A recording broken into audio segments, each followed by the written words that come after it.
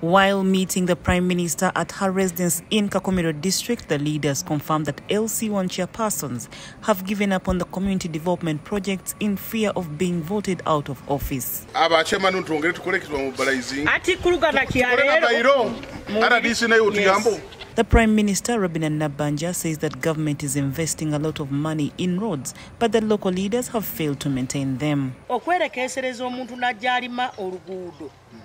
Gavumenti n'erima akaguudo ne tukozesa obusente obwo ne tubuteekamu.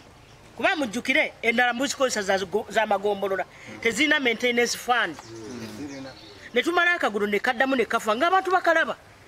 Ne balinda nabbanja buli kaseera. Ne balinda museveni buli kaseera ne balinda disitulikiti buli kaseera nga naye n'abantu ba bulijjo basobola oli n'aba ngaekisiko kimuli n'alima ennimiro n'akoma ku nnimiro wokka bw'ati. Eno nekisigala nga The Speaker, Kakumiro District Council, Joseph Ajuna, says that they will remind the councillors of their obligation to mobilize the community development as enriched in the Local Government Act Cap 243.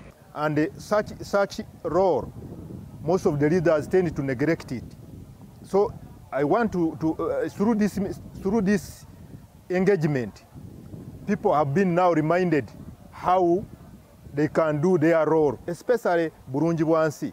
Take an example. If the district has worked on a road so people should be reminded about how they should do burungi bwansi. And the, the person who to remind them we leaders we are the, the people who are supposed to remind them. The Prime Minister assured the leaders that government will not allow people to be evicted from their land.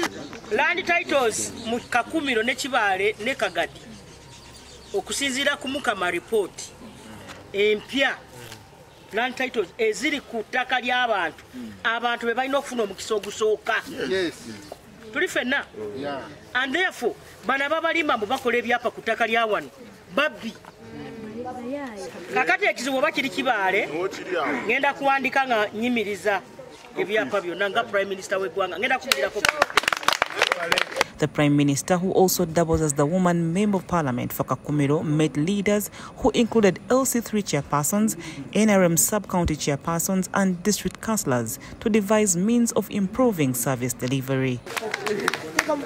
Report by Ismail Kasoha for the news.